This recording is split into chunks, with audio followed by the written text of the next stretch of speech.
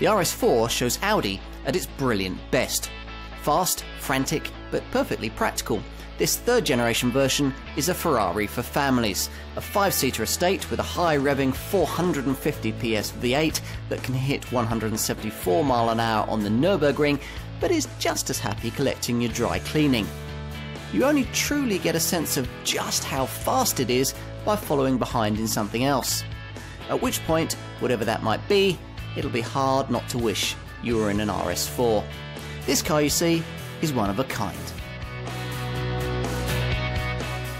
Every once in a while, a car is developed that's so good and such a class benchmark that other manufacturers are wary about taking it on. The Range Rover, for example, maybe the Mazda MX-5.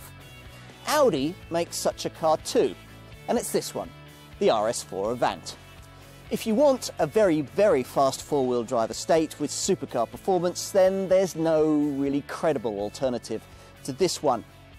The work of Quattro GmbH, Audi's Go Faster arm, the genes of this particular car can be traced right back to the RS2 estate of 1994 that was co-developed with Porsche. That paved the way for the first generation in the RS4 line, the 2.7 litre six cylinder twin turbo Mark I model of 2000, a car that was ferociously quick, but ultimately rather unsatisfying in the way that fast Audis used to be. But aren't anymore. The second generation RS4 of 2006, this model proved to be a landmark car for the brand, a machine good enough at last to properly challenge the all-conquering BMW M3, and a car so well received that first impressions of this third generation version uh, suggest that Audi has been a little shy of making too many changes launched here late in 2012 with what appears to be much the same 4.2 litre V8 engine, developing much the same kind of performance. This seems to be the safest of evolutions. But appearances can be deceptive. Audi tells us that this car is not only more efficient, but quicker through the corners, faster on the brakes, and more enjoyable for the enthusiast. If they're right, then we could be looking here at arguably the most satisfying practical performance car of all time. Let's try it. Not a lot prepares you for just how fast this car really is. Certainly not the initial experience of getting in and firing the thing up.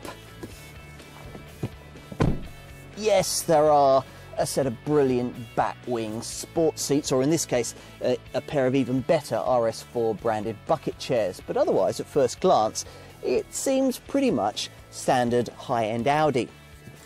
And yes, a prod of the start button produces a satisfying V8 waffle, but nothing to suggest that shortly you'll be worrying Ferrari folk. But then, subtlety, you might think, is all part and parcel of the RS4 driving experience. And I'd agree, up to a point, except that there's nothing really very subtle about the behaviour you have to adopt to really get this car to deliver in the way that you just know it can. Here's a car that just loves to be picked up by the scruff of the neck and given 100% at which point you get a fuller acoustic repertoire of pops, yowls, rumbles, and barks than anything else this side of a proper supercar. Enough to paint a very big smile on your face. Audis don't normally do this. You admire them, but they don't normally make the hairs on the back of your neck stand upright, which makes this RS4 a very special car indeed. Especially when you're hurling it away from rest.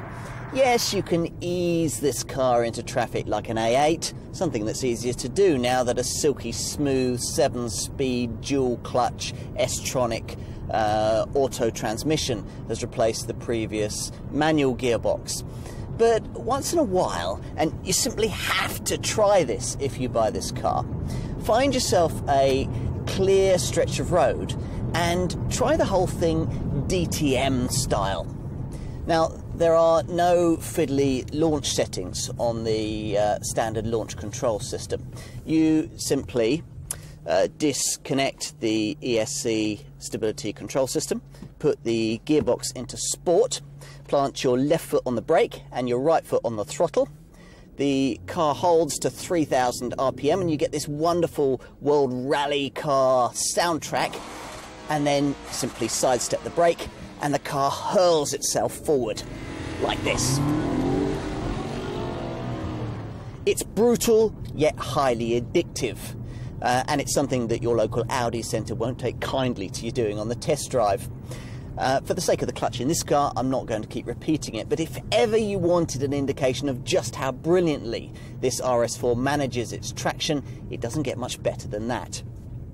It's barely any slower in the wet, conditions in which rival rear-driven BMW M3 or Mercedes C63 AMG models would be slewing their way through the puddles, traction control lights flashing like Belisha beacons. In contrast, this RS4 just grips and goes. Under the bonnet lies what appears to be the same 4.2 litre V8 that was used in the previous generation version of this car. A surprise for Audi followers who expected either an uprated version of the supercharged 3 litre V6 used in the S4 or perhaps more likely uh, the twin turbo uh, V8 developed for Ingolstadt's uh, S8 Super Saloon and borrowed by Bentley's Continental GT. Instead, this classic 4.2 litre V8 gets one last outing before the green lobby puts the final nail in its coffin. And what an engine it is! Also used in the brand's RS5 Coupe and convertible, and, as there, offering glorious oral fireworks under heavy acceleration that sees 0 to 62 miles an hour flash by in the same 4.7 second increment as before, on the way to a top speed that can be as high as 174 miles an hour if you pay extra to have the 155 miles an hour restrictor uh, removed. I probably need to put those performance stats into some kind of perspective. Take the kind of supercar that you maybe had on your bedroom wall as a kid, say a Ferrari 512 TR, for example. Yes, this eminently practical family five seater is just as fast. So much, though, was also true of this car's direct 2006 predecessor, and at least that car could be had with the uh, kind of manual gearbox that most enthusiasts prefer. So, where's the progress? Well, bear with me, I'm getting to that.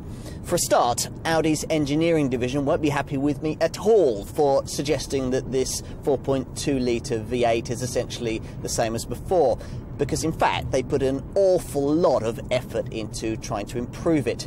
You don't get efficiency gains of up to 30% without changing almost every part. Yet they managed to do this at the same time as pushing peak power up from 420 to 450 PS and enabling the driver to access it all uh, 1500 revs lower in the rev range from a much more accessible 4000 RPM. Anyway, even if the engine hadn't changed, the fundamentals of this design very much have. Fed up with hearing BMW boffins drone on about how much better their cars are thanks to their even 50 50 front to rear weight distribution, the Ingolstadt engineers have achieved pretty much the same thing here by shoving 90 kilograms of the engine's mass backwards, which, as you can imagine, results in a notably sharper front end along with a revised Quattro four-wheel drive system that now, in normal conditions, pushes only 40% of power towards the front, it helps to create that more rearward biased feeling of control that driving connoisseurs prefer.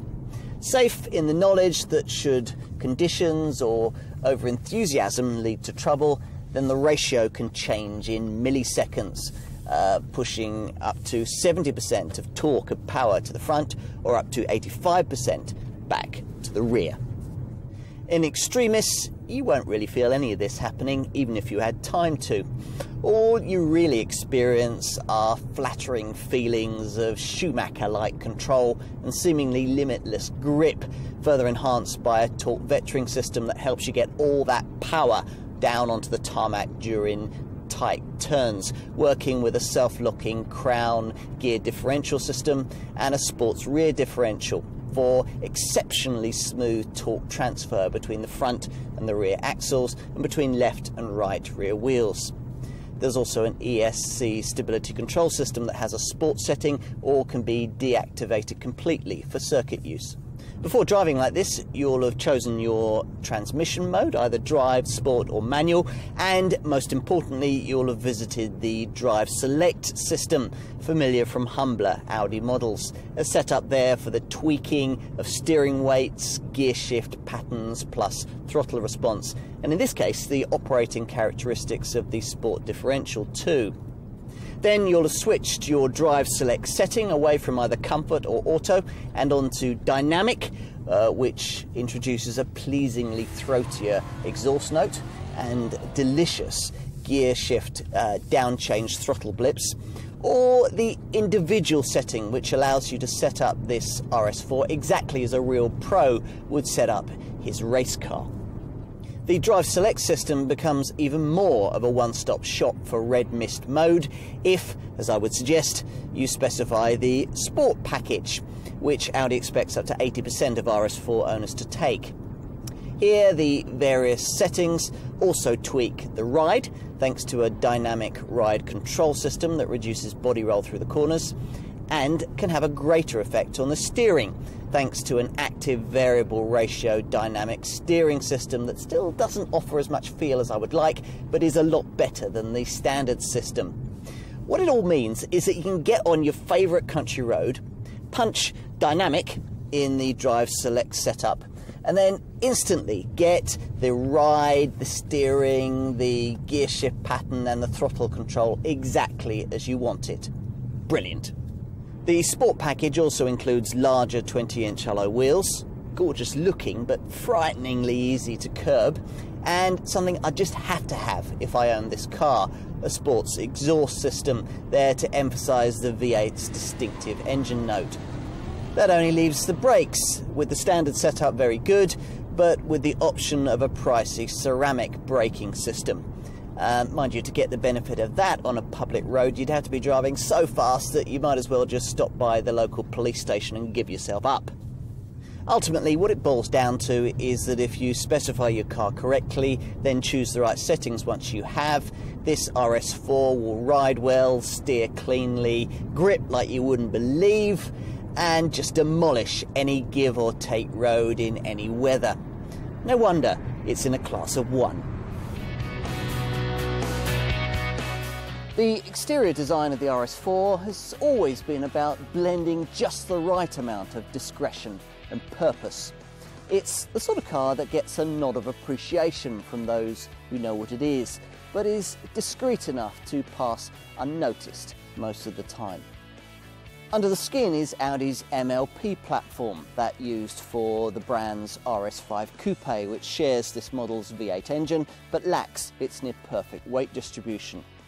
As for the stuff you can see, well, this car is uh, uh, 20 millimeters longer than a standard A4 Avant and 24 millimeters wider and sits 20 millimeters lower to the ground.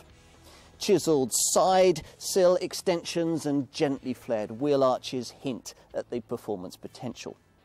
Plus there are unique bumpers, a matte aluminium style front grille and silver mirror housings as RS sub-brand giveaways to those in the know. Another of those is this smart roof spoiler. Twin oval tailpipe caps and a small diffuser are visible from the rear of the car, which is the view that most other drivers will get of this RS4. While there's a decent colour choice for the paintwork, the interior is almost totally black, unless, as I would advise, you specify the optional moon silver headlining. Otherwise, there's little to break up the cabin darkness, apart from chrome clasps on the switchgear and carbon fibre inlays.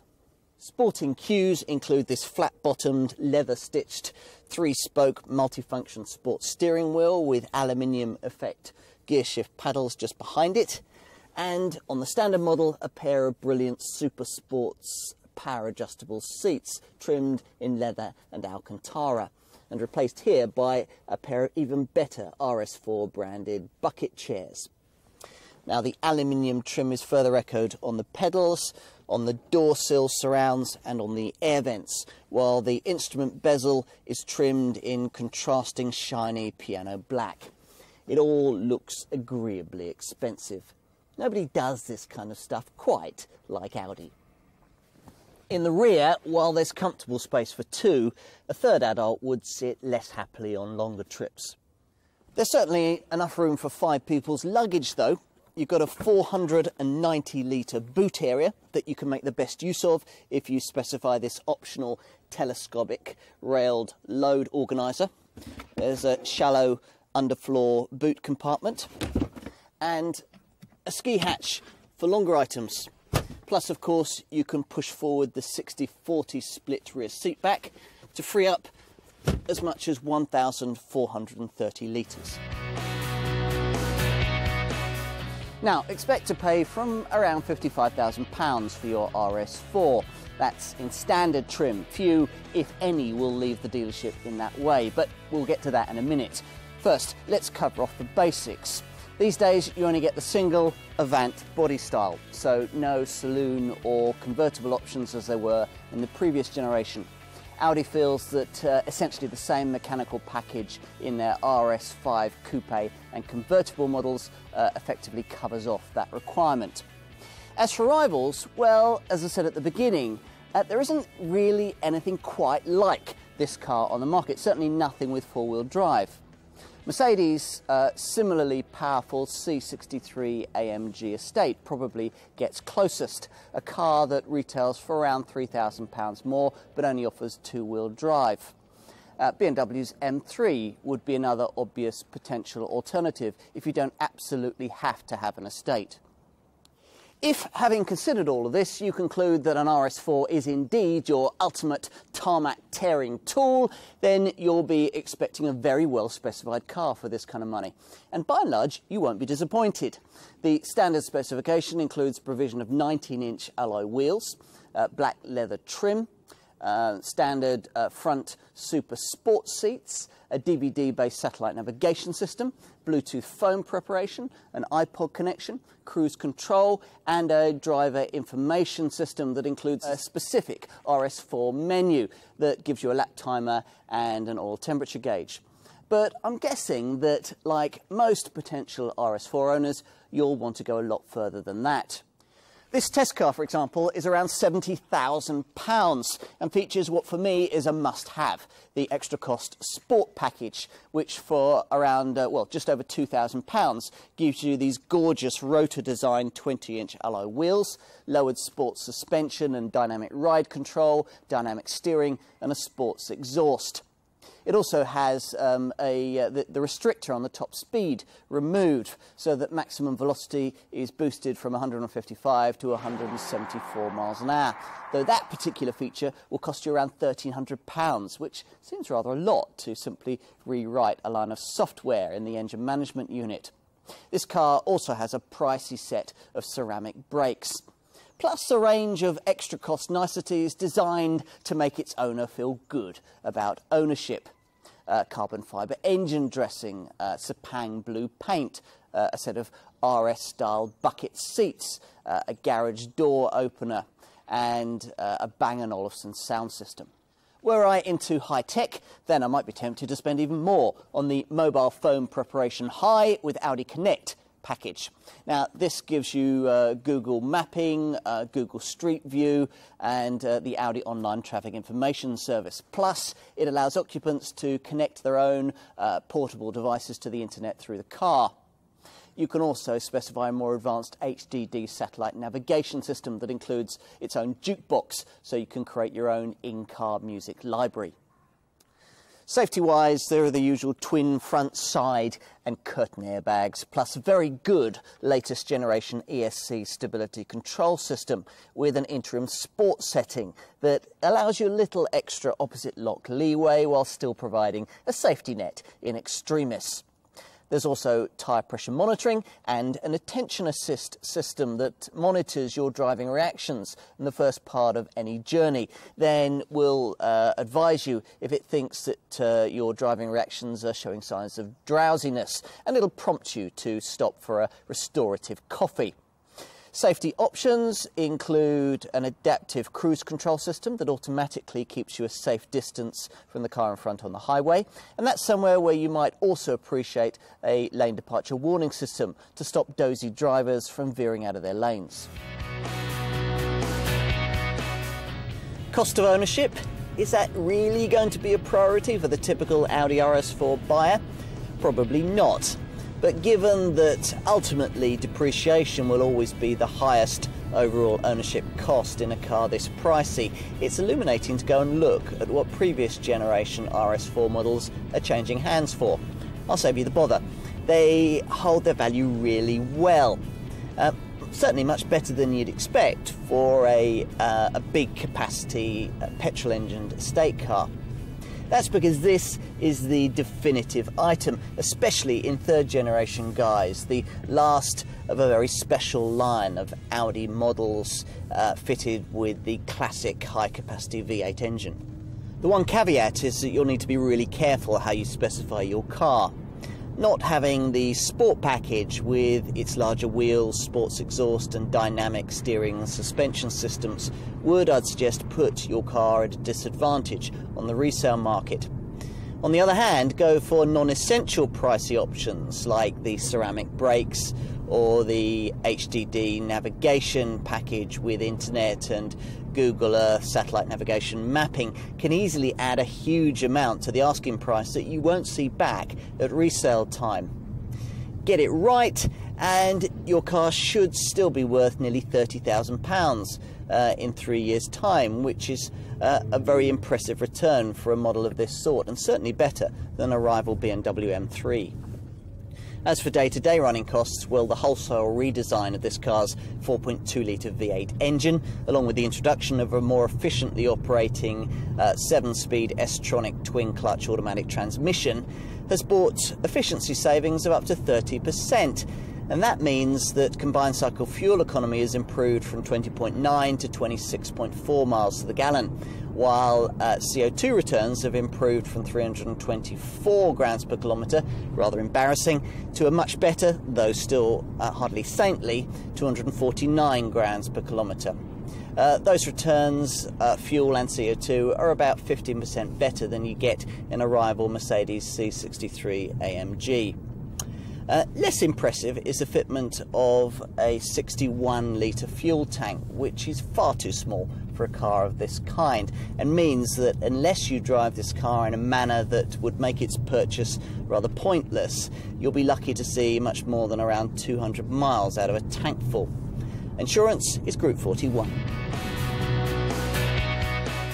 Never mind the R8 supercar or the TT Coupe, if you want to understand how brilliant Audi can be in building a sporting car, then the RS4 is always the best barometer, especially in third generation guise.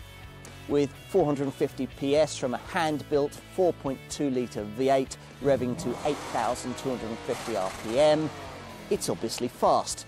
But with an optimised weight distribution, clever electronics and a more rear-driven agenda, this generation version puts something on the menu that's sometimes been absent from Audi RS models in the past. Fun. Is it perfect? No, of course it isn't. The steering still lacks a little feedback, whatever you do to it. Uh, the fuel tank is too small to match the engine's thirst, and I can't afford one. Other than that, it's virtually flawless, which is impressive because it doesn't really have to be. After all, what other high-performance four-wheel drive estate car is there to match this one? Uh, an AMG Mercedes or an M-Powered BMW wouldn't give you the all-round grip. A high-performance SUV couldn't offer the same pin-sharp handling. Perhaps this Mark III RS4 needed to be this good to continue deterring rivals from making a challenge. Who knows? What's beyond debate is that if you love fast cars and want something with more than a little practicality and year-round capability, then this Audi stands head and shoulders above anything else remotely comparable. Drive it and you'll experience a slightly guilty thrill as if something this much fun couldn't really be legal. One day, cars like this might well be legislated out of existence. In the meantime, enjoy this one while you can.